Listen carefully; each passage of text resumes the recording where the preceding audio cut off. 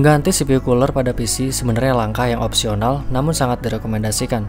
Jika CPU cooler bawaan atau stok masih sanggup digunakan untuk melepas suhu panas dari prosesor, sebetulnya tidak apa-apa jika tidak diganti. Namun, berbeda kasusnya kalau prosesor sering digunakan bekerja dengan berat, dapat dipastikan suhu yang dihasilkan pun cukup tinggi.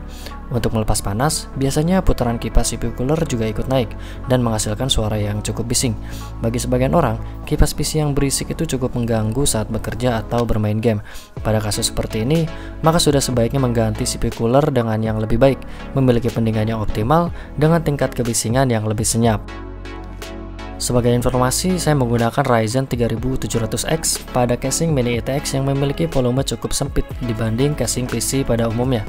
Tetap menggunakan CPU cooler stok terus-menerus saya kira kurang baik bagi kesehatan prosesor, apalagi pada casing yang airflow-nya tidak begitu leluasa.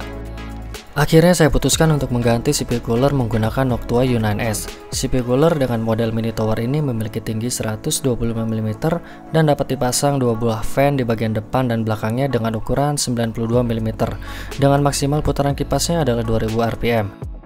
Untuk materialnya sendiri, strip pendinginnya atau cooling fins terbuat dari bahan aluminium, sedangkan bagian base dan heat pipes-nya terbuat dari bahan tembaga. Ada 5 heat pipes yang mengantarkan panas dari prosesor ke cooling fins sebelum akhirnya panas dilepaskan oleh kipas pada heatsink.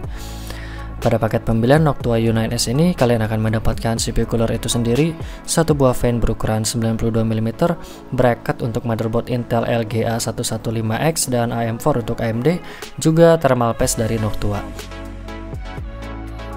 Untuk pendinginan yang lebih optimal, saya akan menambahkan satu buah fan Noctua ukuran 92 x 25 mm pada heatsink. Karena kemarin cukup sulit mencari fan ini di marketplace lokal, saya terpaksa import langsung dan memakan waktu sekitar satu bulan hingga akhirnya saya terima. Karena barangnya udah ada, langsung aja yuk kita pasang.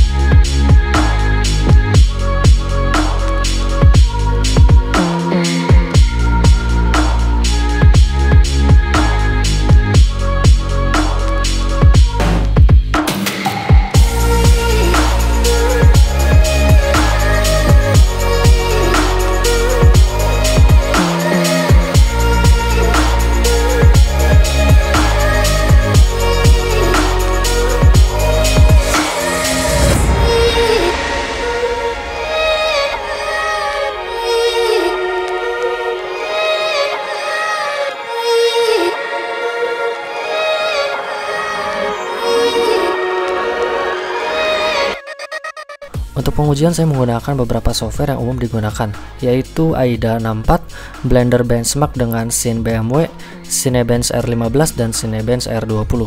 Untuk U9S ini merupakan RPM maksimal yang bisa dijalankan, sedangkan CPU cooler AMD mampu berputar hingga sekitar 3000 RPM namun dengan konsekuensi kebisingan yang juga tinggi. Berikut merupakan hasil benchmark dari masing-masing CPU cooler.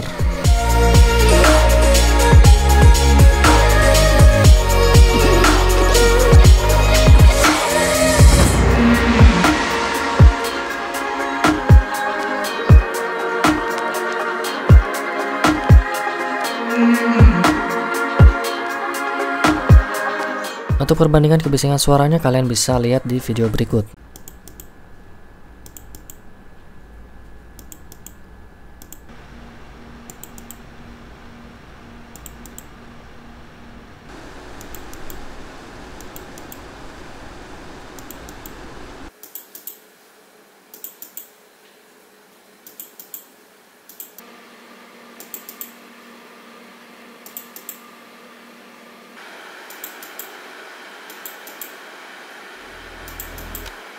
Kalau melihat hasil benchmark, CPU cooler dari AMD memang mampu menekan suhu panas jika kipas berputar pada RPM yang tinggi. Pada putaran 2000 RPM, cooler AMD bahkan lebih senyap dari Noctua. Namun konsekuensinya, suhu panas meningkat secara signifikan. Jadi bisa dibilang Noctua U9S memiliki performa yang merata baik dari segi pendinginan yang optimal dengan tingkat kebisingan yang relatif rendah. Lalu kenapa saya memilih cooler ini dan gak sekalian ambil water cooling aja? Ada beberapa alasan sebenarnya. Pertama, casing ini masih memungkinkan untuk menggunakan air cooler ukuran mini tower dengan batasan tinggi 135 mm. Saya ingin coba memaksimalkan ruang di atas prosesor menggunakan air cooler terlebih dahulu. Kedua, reliable. Maksudnya mampu bekerja dengan baik secara konsisten, mendinginkan prosesor dengan optimal, senyap tanpa suara, dan memiliki komponen yang sederhana. Hanya heatsink dan kipas, sehingga kalau nanti ada kejadian rusak atau mati, ya tinggal ganti kipasnya aja kan. Ketiga, masih ada ketakutan untuk menggunakan all-in-one water cooling. Takut pompanya rusak lah, ada kebocoran lah, dan lain sebagainya. Tapi selama ini sedikit demi sedikit saya juga sedang mencoba mempelajari custom loop water cooling. Baik, terima kasih sudah meluangkan waktunya untuk menonton video ini dan sampai jumpa di video berikutnya.